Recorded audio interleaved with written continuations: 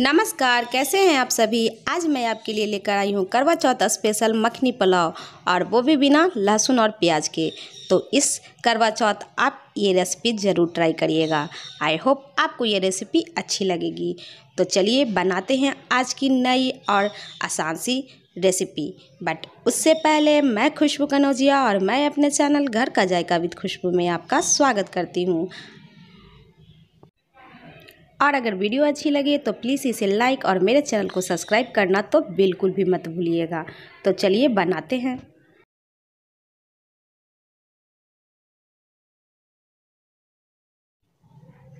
तो ये बहुत ही आसान सी रेसिपी है। तो चलिए, रेसिपी को बना लेते हैं। तो सबसे पहले हम यहाँ पर एक बर्तन लेंगे और इसमें ऐड करेंगे टमाटर।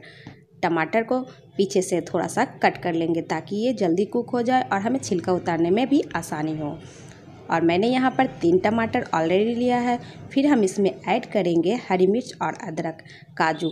और ये सारे इंग्रेडिएंट्स का नाम मैंने वीडियो के लास्ट में नोट कर दिया है। आप वहाँ से चेक कर लीजिएगा। तो आप मेरी वीडियो को इन तक ज़रूर देखिएगा। तो फिर हम इसे कुक करने के लिए इसमें ऐड करेंगे दो कप पानी और इसे ढक कर हम कुक होने देंगे। तो चलिए इसे हम ढक कर कुक होने देते हैं।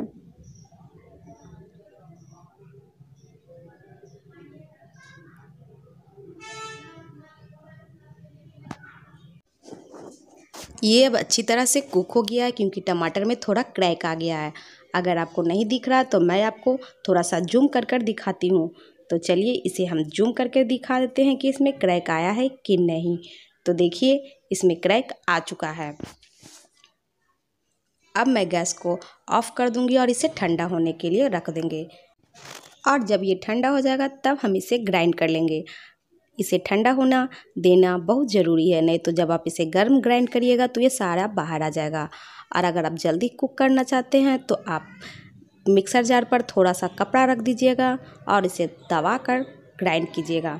तो जब तक ये ग्राइंड होता है, तब तक हम चावल को भी कुक कर लेते हैं। तो मैंने यहाँ पर ऑलरेडी पानी को गर्म कर लिया है और फिर हम इसमें ऐड करेंगे चावल। देखिए, चावल कितनी अच्छी तरह से उबल चुका है। सिर्फ़ मैंने इसमें एक छोटी इलायची ही ऐड किया है और फिर हम इसमें सोक किया हुआ बासमती राइस कुक करेंगे और चावल को हम 80 परसेंट तक कुक करेंगे। जब तक चावल कुक होता है, हम आगे का प्रोसेस कर लेते हैं।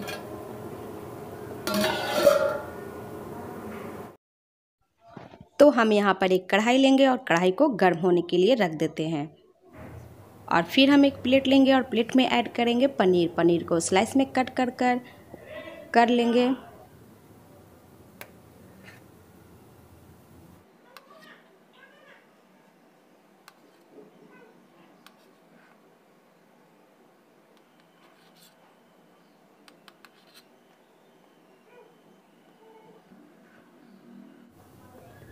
अब पनीर में थोड़ा सा कलर लाने के लिए हम इसमें रेड चिल्ली पाउडर ऐड करेंगे और इसे मिक्स करेंगे और फिर हम इसे फ्राई कर लेंगे सोलो। तो इसे फ्राई करने के लिए हमने पैन रखा था जो गर्म हो चुका है। फिर हम इसमें ऐड करेंगे घी। अगर आपके पास घी नहीं है तो आप रिफाइंड तेल का भी इस्तेमाल कर सकते हैं, पर मखनी पुलाव के लिए घी सबसे बेस्ट होता है। फिर हम इसमें पनीर को सोलो फ्राई कर लेंगे।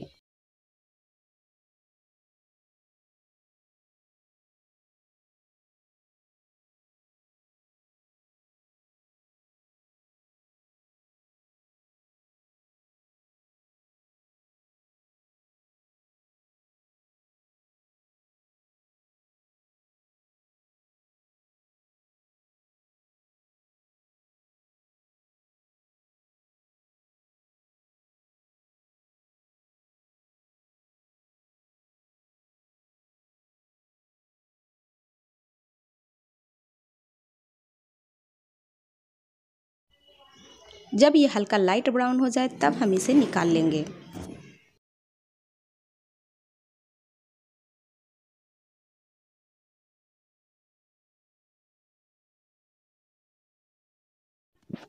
फिर हम इसी पैन में ऐड करेंगे थोड़ा सा और घी और उसे गर्म होने देंगे।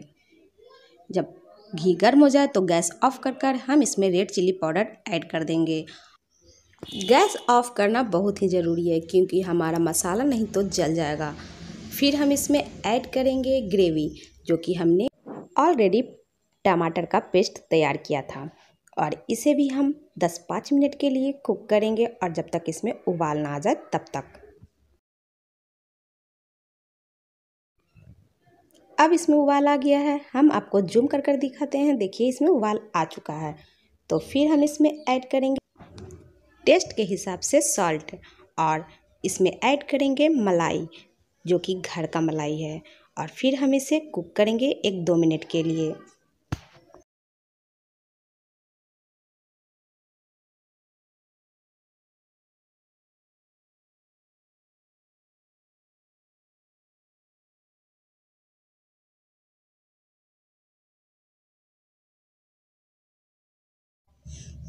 फिर हम ऐड करेंगे फ्राई किए हुए पनीर को और इसे भी कुछ मिनटों के लिए कुक करेंगे।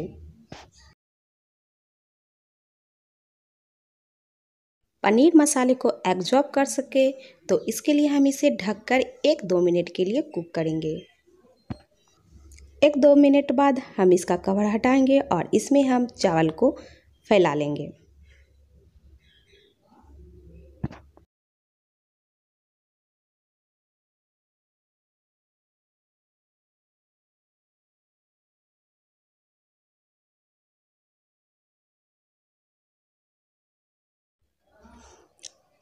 फिर हम ऊपर से ऐड कर देंगे फ्राई किए हुए काजू, किशमिश और मखनी मसाला। ये मखनी मसाला घर का बना हुआ है। अगर आप इसकी रेसिपी देखना चाहते हैं तो हमें कमेंट कर कर ज़रूर बताइएगा।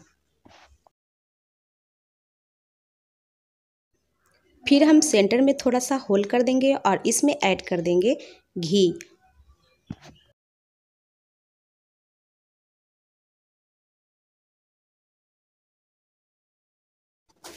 और फिर इसे कवर कर कर पंद्रह मिनट के लिए दम लगाएँगे।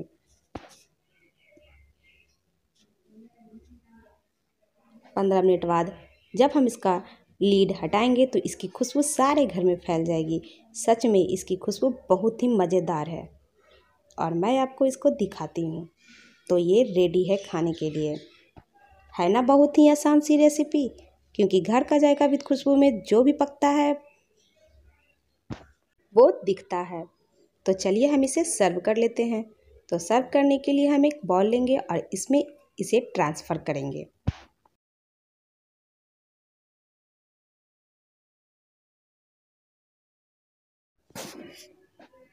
और इसे गार्निशिंग करेंगे रेड टमाटर के साथ।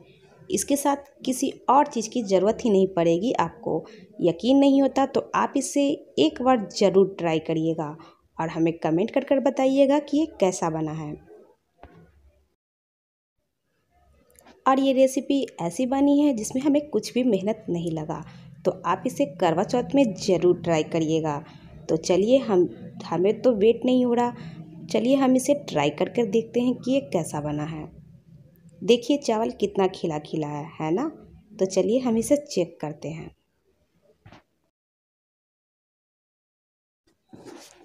सच में सच में सच में ये बहुत ही डिलीजियस है। यकीन नहीं होता तो आप इसे ज़रूर ट्राई करिएगा और ट्राई करने के लिए आपको इंग्रेडिएंट्स की ज़रूरत होगी, जो कि सारे इंग्रेडिएंट्स का नाम मैंने लिख दिया है, आप देख लीजिए। तो चलिए इसके इंग्रेडिएंट्स को देख लेते हैं।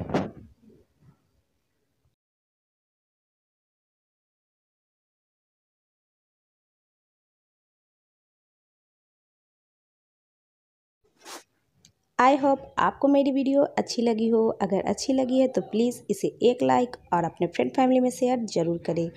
और मेरे चैनल को सब्सक्राइब करना तो बिल्कुल भी मत भूलिए। प्लीज़ मेरे चैनल को सब्सक्राइब कीजिए और मुझे सपोर्ट कीजिए। तो फिर मिलते हैं इसी तरह की नई रेसिपी के साथ कम बजट में अपने इसी चैनल घर का जायका विद खुशबू में। जब तक खुश रहिए, खुशियाँ बांटते रहिए और आसपास सफ़ाई बनाए रखिए। Thank you. Thank you for watching. Take care and namaskar.